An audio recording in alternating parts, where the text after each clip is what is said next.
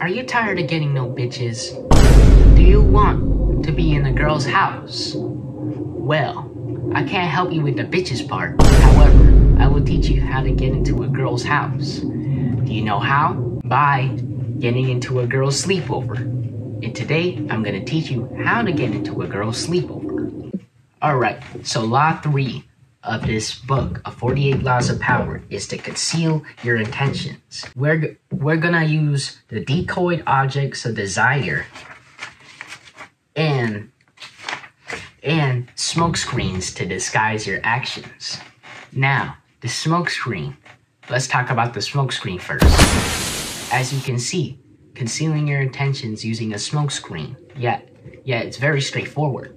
But in a way it can help us get into a girl's sleepover. Because if we act gay, if we act gay to get into a girl's sleepover, then um, bam, you're directly in the girl's sleepover, and they don't bat an eye.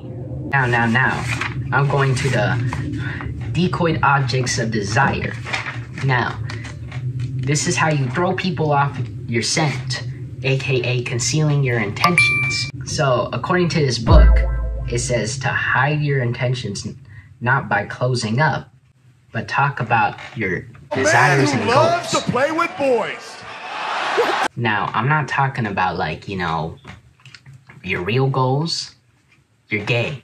Remember that. You're gay. Remember that, okay? So, your goal, your concealed goal is to get a man.